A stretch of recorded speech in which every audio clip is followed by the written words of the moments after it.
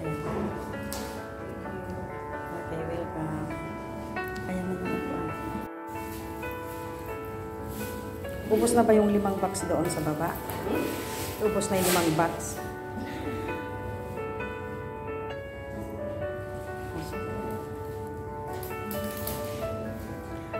Ano, paghintay ka na lang sa kanila. Pakitulong nyo na nga lang siya. Oo, pakitulong nyo nga pakibaba. Thank you. Para marami kasing tao sa baba. Okay, thank you.